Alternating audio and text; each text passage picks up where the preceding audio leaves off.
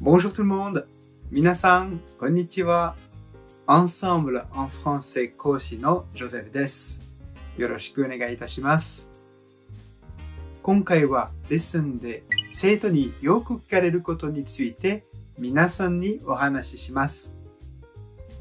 何々するのは難しいですとフランス語で言いたいとき、c'est difficile の後にあ、または de という前置詞を入れますが、あと de はどのように使い分けたらいいでしょうか？実はとっても簡単です。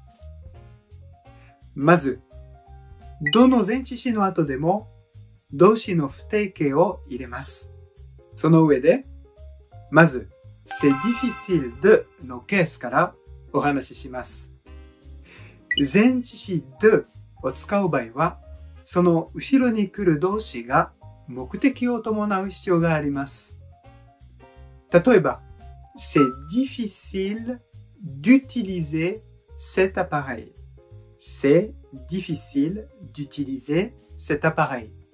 この装置を使うのは難しいですと言いますが、difficile を facile に変えると c'est facile d'utiliser cet appareil.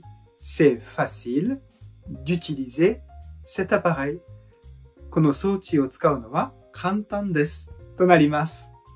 では今度は、c'est difficile の後ろに、あという前置詞を置く場合です。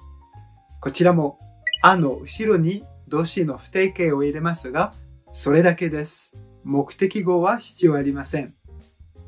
例えば、それは使うのが難しいです。フランス語でどう言うと思いますか？そうです。C'est difficile à utiliser. C'est difficile à utiliser. では、次に、それは使うのが簡単です。どうなりますか？その通り。C'est facile à utiliser. c'est facile à utiliser と言います。いかがでしたかぜひフランス語で話すときや書くときに使ってくださいね。À très très bientôt!